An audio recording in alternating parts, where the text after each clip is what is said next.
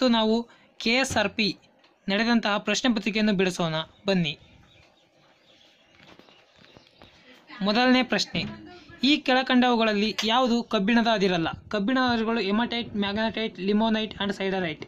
But ಇಲ್ಲಿ ಮೆಲ, but ಇಲ್ಲಿ ಮೆಲಾಕೈಟ್ ಕೊಟ್ಟಿದ್ದಾರೆ. ಮೆಲಾಕೈಟ್ ಈಸ್ ನಾಟ್ ಎ ಕಬ್ಬಿಣದ ಅದಿರು ಮೆಲಾಕೈಟ್ ಕಬ್ಬಿಣದ ಅದಿರು ಅಲ್ಲ. ಆದ್ದರಿಂದ option D is right answer.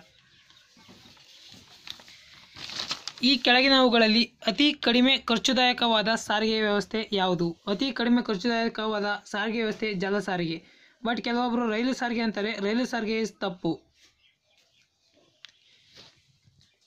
ಈ ಕೆಳಗಿನವುಗಳಲ್ಲಿ ಅತಿ ಹೆಚ್ಚು ಲಿಂಗಾನುಪಾತ ಹೊಂದಿದ ಜಿಲ್ಲೆ ಯಾವುದು? ಉಡುಪಿ ಅತಿ ಹೆಚ್ಚು ಜಿಲ್ಲಾ ಲಿಂಗಾನುಪಾತವನ್ನು ಹೊಂದಿದಂತಹ ಜಿಲ್ಲೆಯಾಗಿದೆ. ಉಡುಪಿಯಲ್ಲಿ ಸಾವಿರಕ್ಕೆ ಸಾವಿರದ ತೊಂಬತ್ನಾಲ್ಕು ಇದ್ದರೆ ದಕ್ಷಿಣ ಕನ್ನಡದಲ್ಲಿ ಸಾವಿರಕ್ಕೆ ಸಾವಿರದ ಇಪ್ಪತ್ತಿದೆ so Udupi is right answer ಈ ಕೆಳಗಿನವುಗಳಲ್ಲಿ ಅತಿ ಹೆಚ್ಚು ಜೋಳ ಉತ್ಪಾದಿಸುವ ಜಿಲ್ಲೆ ಯಾವುದು? ವಿಜಯಪುರ. ಅಂಶಿ ರಾಷ್ಟ್ರೀಯ ಉದ್ಯಾನವನ ಎಲ್ಲಿದೆ? ಉತ್ತರ ಕನ್ನಡ. ಕಾನೂನುಗಳನ್ನು ರೂಪಿಸುವ ಅಂಗ ಯಾವುದು? ಕಾನೂನುಗಳನ್ನು ರೂಪಿಸುವ ಅಂಗ ಶಾಸಕಾಂಗ ಆಗಿದೆ ಸ್ನೇಹಿತರೆ. ಕಾ, ರೂಪಿಸಿದಂತಹ ಕಾನೂನನ್ನು ಜಾರಿಗೆ ತರುವುದು ನ್ಯಾಯಾಂಗ. ಬಟ್ ಬಹಳ ಜನ ಇದಕ್ಕೆ ತಪ್ಪು ಆನ್ಸರ್ ಹೇಳ್ತಾರೆ. ಕಾನೂನುಗಳನ್ನು ರೂಪಿಸುವುದು ಕಾರ್ಯಾಂಗ ಅಂತ ಹೇಳ್ತಾರೆ. ನೋ. ಶಾಸಕಾಂಗ ರೂಪಿಸಿದಂತಹ ಕಾನೂನುಗಳನ್ನು ಜಾರಿಗೆ ತರುವುದು ಕಾರ್ಯಾಂಗ. ಸೊ ಕಾನೂನುಗಳನ್ನು ರೂಪಿಸುವುದು ಶಾಸಕಾಂಗ ಆಗಿದೆ. ಸೊ ರೈಟ್ ಆನ್ಸರ್ ಈಸ್ ಶಾಸಕಾಂಗ. ಸ್ವತಂತ್ರ ಭಾರತಕ್ಕೆ ತನ್ನದೇ ಆದ ಸಂವಿಧಾನವಿರಬೇಕೆಂದು ಮೊದಲು ಪ್ರತಿಪಾದಿಸಿದವರು ಯಾರು? ಎಂ. ಎನ್. ರಾಯ್. ಭಾರತ ಜಾತ್ಯತೀತ ರಾಷ್ಟ್ರವೆಂದು ತಿಳಿಸುವ ಅಂಶ ಯಾವುದು? ಸಂವಿಧಾನದ ಪೀಠಿಗೆ ಭಾರತ ಸಾರ್ವಭೌಮ ಸಮಾಜವಾದ ಜಾತ್ಯತೀತ ಪ್ರಜಾಸತ್ತಾತ್ಮಕ ಗಣರಾಜ್ಯ ಎಂದು ತಿಳಿಸುತ್ತದೆ. ಸೊ ಆನ್ಸರ್ ಈಸ್ ಸಂವಿಧಾನದ ಪೀಠಿಗೆ. ಭಾರತ ಸಂವಿಧಾನದಲ್ಲಿ ಈಗಿರುವ ಮೂಲಭೂತ ಹಕ್ಕುಗಳು ಎಷ್ಟು? ಈಗಿರೋದು ಆರು. ಫಸ್ಟ್ಗೆ ಏಳಿದ್ದು ಸ್ನೇಹಿತರೆ, ಆಸ್ತಿ ಹಕ್ಕನ್ನು ತೆಗೆದುಹಾಕಲಾಯಿತು. ಈಗ ಸದ್ಯಕ್ಕೆ ಆರು ಇದ್ದಾವೆ ಒಂದು ಮಸೂದೆ, ಆರ್ಥಿಕ ಮಸೂದೆ ಎಂದು ತೀರ್ಮಾನಿಸುವವರು ಯಾರು? ಲೋಕಸಭೆಯ ಸ್ಪೀಕರ್. ವಿಸ್ತೀರ್ಣದಲ್ಲಿ ಭಾರತದಲ್ಲಿ ಅತಿ ಚಿಕ್ಕ ರಾಜ್ಯ ಯಾವುದು? ಗೋವಾ. ಪಶ್ಚಿಮಾಭಿಮುಖವಾಗಿ ಹರಿಯುವ ದಕ್ಷಿಣ ಭಾರತದ ಅತಿ ಉದ್ದವಾದ ನದಿ ಯಾವುದು? ನರ್ಮದಾ ನದಿ. ನರ್ಮದಾ ನದಿ ಪಶ್ಚಿಮಾಭಿಮುಖವಾಗಿ ಹರಿಯುವ ಕರ್ನಾ, ಕರ್ನಾಟಕ ಅಂತಲ್ಲ, ಇಡೀ ದೇಶದಲ್ಲಿ ಅತ್ಯಂತ ದೊಡ್ಡದಾದ ನದಿಯಾಗಿದೆ.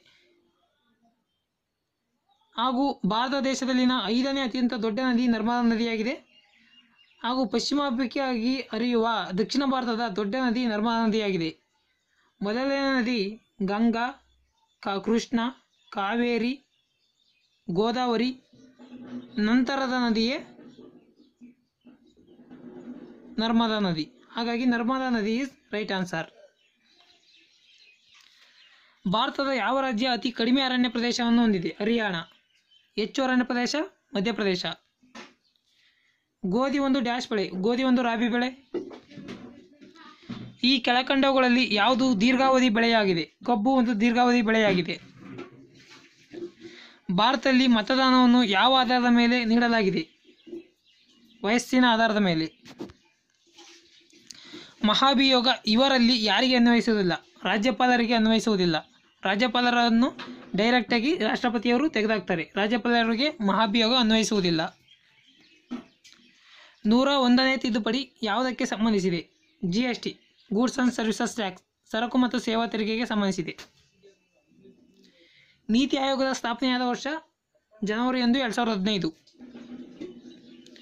ಭಾರತದ ಸಂಸತ್ತಿನಲ್ಲಿ ಅತಿ ದೊಡ್ಡ ಸಮಿತಿ, ಅಂದಾಜು ಸಮಿತಿ. ರಾಮಾಯಣ ಮಹಾನ್ವೇಷಣಂ ಕರ್ತೃ ಯಾರು? ವೀರಪ್ಪ ಮೊಯ್ಲಿ. ಇವರು ಎರಡು ಸಾವಿರದ ಹದಿನಾಲ್ಕರಲ್ಲಿ, ವೀರಪ್ಪ ಮೊಯ್ಲಿ ಅವರು ಎರಡು ಸಾವಿರದ ಹದಿನಾಲ್ಕರಲ್ಲಿ ರಾಮಾಯಣ ಮಹಾನ್ವೇಷಣಂ ಎಂಬಂತಹ ಕೃತಿಗೆ ಸರಸ್ವತಿ ಸಮ್ಮಾನ್ ಪ್ರಶಸ್ತಿಯನ್ನು ಪಡೆದಿದ್ದಾರೆ. ಆದ್ದರಿಂದಲೇ ಈ ಕೃಷನ್ನು ಕೇಳಿರ್ತಕ್ಕಂಥದ್ದು. ದುಡಿತವೇ ನನ್ನ ಬದುಕು, ಯಾರ ಆತ್ಮಕಥನ? ಕೈಯಾರ ಕಿಂಗ್ನಣ್ಣ ರೈ. ಕೆಂಪು ಗ್ರಹ ಎಂದು ಯಾವ ಗ್ರಹಕ್ಕೆ ಕರೆಯುತ್ತಾರೆ? ಮಂಗಳ ಗ್ರಹಕ್ಕೆ. ಭೂಮಿಯು ತನ್ನ ಅಕ್ಷದ ಸುತ್ತ ಸುತ್ತುವುದನ್ನು ಏನೆಂದು ಕರೆಯುತ್ತಾರೆ.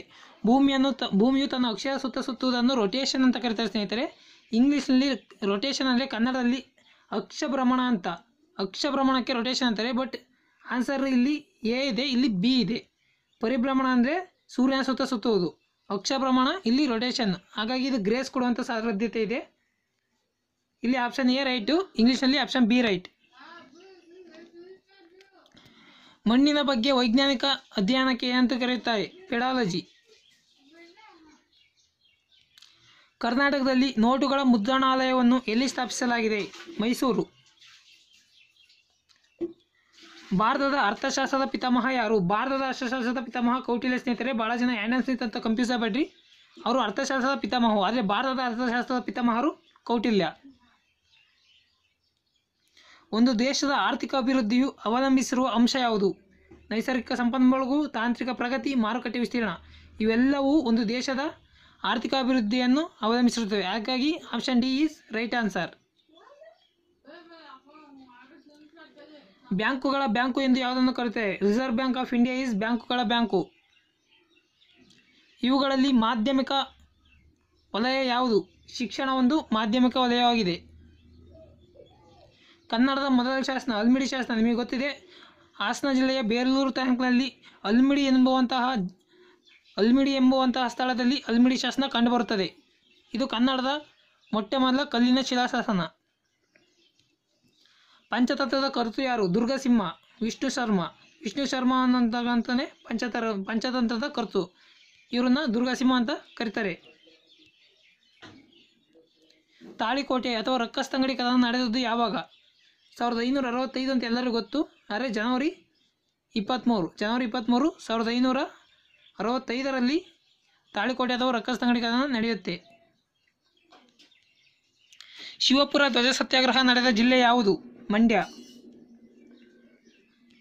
ಮೈಸೂರು ಚಲೋ ಚಳುವಳಿ ಪ್ರಾರಂಭವಾಗಲು ಕಾರಣ. ಏಕೆಂದರೆ ರಾಜ್ಯದಲ್ಲಿ ಜವಾಬ್ದಾರಿ ಸರ್ಕಾರ ಜಾರಿಗೆ ತರಲು ವಿಳಂಬ ಮಾಡುತ್ತಾರೆ. ಆದ್ದರಿಂದ ಮೈಸೂರಿನಲ್ಲಿ ಚಲೋ ಚಳುವಳಿಯನ್ನು ಜಾರಿಗೆ ತರುತ್ತಾರೆ. ಮಾನವ ಸಂಪನ್ಮೂಲ ಎಂದರೇನು? ಉತ್ಪಾದನೆಯಲ್ಲಿ ಸಕ್ರಿಯವಾಗಿ ಪಾಲ್ಗೊಳ್ಳುವ ಜನರನ್ನು ಮಾನವ ಸಂಪನ್ಮೂಲ ಎಂದು ಕರೆಯುತ್ತಾರೆ. ಅಂದರೆ ಆರ್ಥಿಕಾಭಿವೃದ್ಧಿ, ದೇಶದ ಬೆಳವಣಿಗೆಯಲ್ಲಿ ಯಾವ ಜನರು ಪಾತ್ರವಹಿಸುತ್ತಾರೋ ಅವರು ಮಾನವ ಸಂಪನ್ಮೂಲ ಆಗ್ತಾರೆ. ಉತ್ಪಾದನೆಯಲ್ಲಿ ಸಕ್ರಿಯವಾಗಿ ಪಾಲ್ಗೊಳ್ಳುವ ಜನರು ಮಾನವ ಸಂಪನ್ಮೂಲ ಆಗ್ತಾರೆ. ಕರ್ನಾಟಕ ಸರ್ಕಾರದ ಹಣಕಾಸು ಸಚಿವರು ಯಾರು? ಎಚ್ ಡಿ ಕುಮಾರಸ್ವಾಮಿ ಯಾರು ಮುಖ್ಯಮಂತ್ರಿ ಅಂತ ಹೇಳ್ಬೋದು. ಅವರೇ ಹಣಕಾಸು ಸಚಿವರು ಸಹ ಹೌದು. ಹಣಕಾಸು ಸಚಿವರು H D Kumaraswamy. I M ಎಫ್ನ ಕೇಂದ್ರ ಕಚೇರಿ ಎಡೆ ಇಂಟರ್ನ್ಯಾಷನಲ್ ಮಾನಿಟರಿ ಫಂಡ್, ಕೇಂದ್ರ ಕಚೇರಿ ಅಮೆರಿಕದ ವಾಷಿಂಗ್ಟನ್ ಡಿ ಸಿ ಕಲ್ಲಿದ್ದಲು, ಪೆಟ್ರೋಲಿಯಂ ಯಾವ ಕ್ರಾಂತಿಗೆ ಸಂಬಂಧಪಟ್ಟಿವೆ? ಕಪ್ಪು ಕ್ರಾಂತಿಗೆ ಸಂಬಂಧಪಟ್ಟಿವೆ. ಮುದ್ರಾದ ವಿಸ್ತೃತ ರೂಪವೇನು? Micro units development and refinery agency. ಸಾವಿರದ ಎಂಟುನೂರ ಐವತ್ತೇಳರ ದಂಗೆಯನ್ನು ಪ್ರಥಮ ಸ್ವಾತಂತ್ರ್ಯ ಸಂಗ್ರಾಮ ಎಂದು ಪ್ರತಿಪಾದಿಸಿದವರು ಯಾರು? ವಿ ಡಿ ಸಾವರ್ಕರ್ ಅವರು. ಸಾವಿರದ ಒಂಬೈನೂರ ಹದಿನಾರರಲ್ಲಿ, ಸಾವಿರದ ಒಂಬೈನೂರ ಹದಿಮೂರರಲ್ಲಿ ಗದರ್ ಪಕ್ಷ ಸ್ಥಾಪಿಸಿದ ಕ್ರಾಂತಿ ಯಾರು? ಗದರ್ ಪಕ್ಷವನ್ನು ಅಮೆರಿಕದಲ್ಲಿ ಸ್ಥಾಪಿಸಲಾಯಿತು. ಅದನ್ನು ಸ್ಥಾಪಿಸಿದ ಕ್ರಾಂತಿಕಾರಿ ಯಾರು? ಲಾಲಾ ಹರ್ದಯಾಳ್ ಅವರು. ಸರ್ವೋದಯ ಹಾಗೂ ಭೂದಾನ್ ಚಳವಳಿ ಆರಂಭಿಸಿದವರು ಯಾರು? ವಿನೋಬ ಭಾವೆ ಅವರು. ಜಲಿಯನ್ ವಾಲಾಬಾಗ್ ದುರಂತ ನಡೆದ ದಿನ ಯಾವುದು? ಏಪ್ರಿಲ್ ಹದಿಮೂರು, ಸಾವಿರದ ಒಂಬೈನೂರ ಹತ್ತೊಂಬತ್ತು. ಕ್ವಿಟ್ ಇಂಡಿಯಾ ಚಳವಳಿ ಘೋಷಣೆ ಏನಾಗಿತ್ತು ಅಂತ ಕೇಳಿದರೆ, ಮಾಡು ಇಲ್ಲವೇ ಮಡಿ. ಎಲೆಕ್ಟ್ರಿಕ್ ಬಲ್ಬ್ಗಳಲ್ಲಿ ಬಳಸುವ ಲೋಹ ಯಾವುದು? ಟಂಗಸ್ಟನ್ ಅನ್ನು ಎಲೆಕ್ಟ್ರಿಕ್ ಬಲ್ಬ್ಗಳಲ್ಲಿ ಬಳಸ್ತಾರೆ. ಸಾರಜನಕ ತುಂಬಿರುವಂತಹ ಅನಿಲವಾಗಿದೆ. ಗ್ರಹಗಳ ಚಾಲನೆಯನ್ನು ಕಂಡುಹಿಡಿದ ವಿಜ್ಞಾನಿ ಯಾರು? ಕೆಪ್ಲರ್. ಕೆಪ್ಲರ್ ಮೂರ, ಮೂರು ನಿಯಮಗಳನ್ನು ಹೇಳಿದ್ದಾನೆ. ಕೆಪ್ಲರ್ನು ಗ್ರಹಗಳ ಚಾಲನೆಯನ್ನು ಕಂಡುಹಿಡಿದನು. ಎಲ್ ಪಿ ಜಿಯಲ್ಲಿ ಬಳಸುವ ವಾಸನೆಯುಕ್ತ ರಾಸಾಯನಿಕ ಯಾವುದು? Ethane mercaptan mer mercaptan but mercaptan ಅಂತ ಕೊಟ್ಟಿದ್ರೆ so option D is answer methane ಅಂತ ಕಂಪಿಸಬೇಡಿ ಇಟ್ ಈಸ್ ರಾಂಗ್ ಆನ್ಸರ್ ಜೀವಾನಿಲ ಎಂದು ಕರೆಯುವುದು ಯಾವುದನ್ನು? ನಾವು ಬದುಕಕ್ಕೆ ಆಮ್ಲಜನಕ ಬೇಕು. ಸೊ ಇದೇ ಜೀವಾನಿಲ ಎಂದು ಕರೆಯುತ್ತಾರೆ. Which test is use to determine the gene ಜೀನನ್ನು ಪರೀಕ್ಷಿಸಲು ಯಾವ ಟೆಸ್ಟ್ ಮಾಡಲಾಗುತ್ತದೆ? Yes D N A finger ಪ್ರಿಂಟನ್ನು ಜೀನನ್ನು ಪರೀಕ್ಷಿಸಲು ಪರೀಕ್ಷೆ